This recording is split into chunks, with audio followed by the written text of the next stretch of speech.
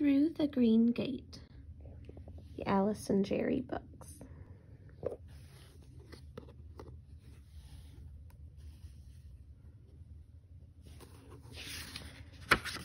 Through the Green Gate by Mabel O'Donnell, illustrated by Florence and Margaret Hoopes.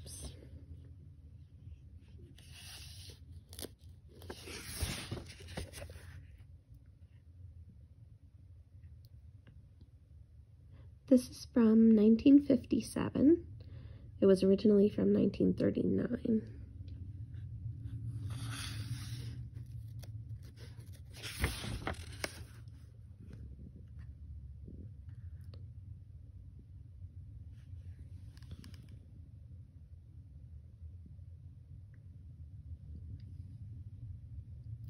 Miss Lizzie, someday you may want to go to Friendly Village.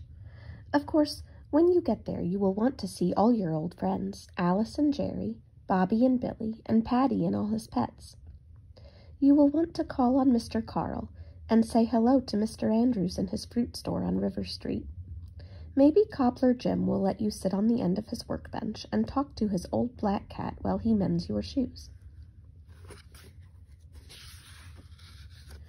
But whatever you do, be sure to take a walk down Green Gate Road to see Miss Lizzie. You don't want to go home without seeing Miss Lizzie. Green Gate Road runs right by the houses of Alice and Jerry and Mr. Carl and out to the edge of the village. Then, all at once, it stops. I suppose you think it stops because there is no more village and no place else to go. But that isn't it.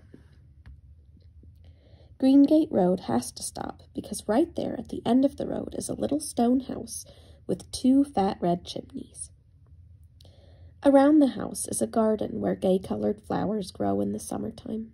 Around the garden is a wall, and in the wall is a green gate. It is just the kind of gate that makes you want to look through the cracks to see what is happening on the other side. No one in Friendly Village knows how old the house and the wall really are, but that isn't important. The important thing is that Miss Lizzie lives there.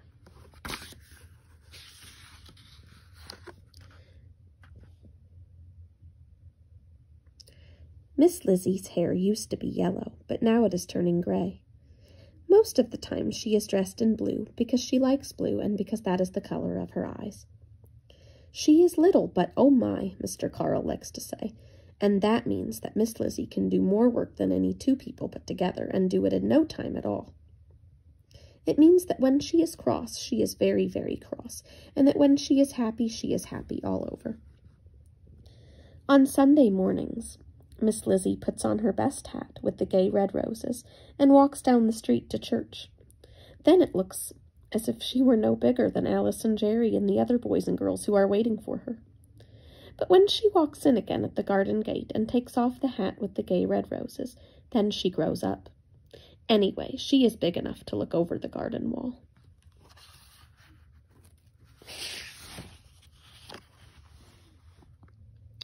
Time and time again, Alice and Jerry and some of their friends stand outside the garden wall and call, Hurry, Miss Lizzie. Come as fast as you can. We have something to show you.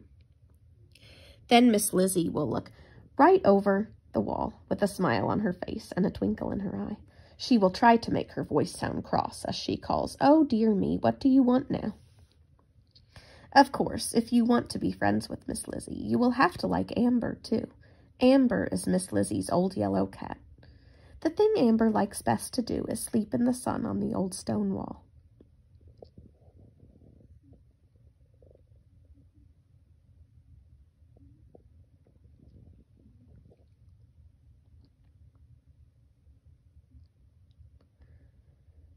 Because Miss Lizzie lives at the edge of the village, the cornfields of the country are right at her back door.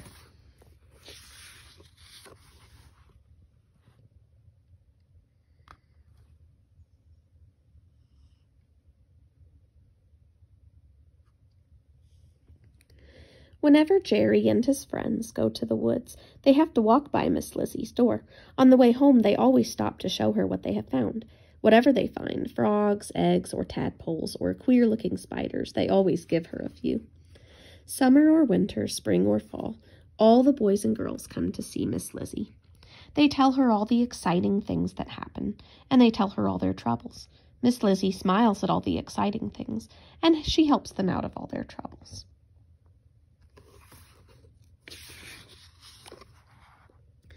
One day, Jim Winters, who lives at White Fence Farm, was in great trouble. He didn't want anyone to know about it, but he had to have help from someone, so he went to Miss Lizzie. I suppose you will want to know what the trouble was all about. I suppose you want to know what Miss Lizzie told him to do. Your questions won't stop until I tell you. So here is what happened. And the next section is called Bang. We'll read that next time. Have a good night.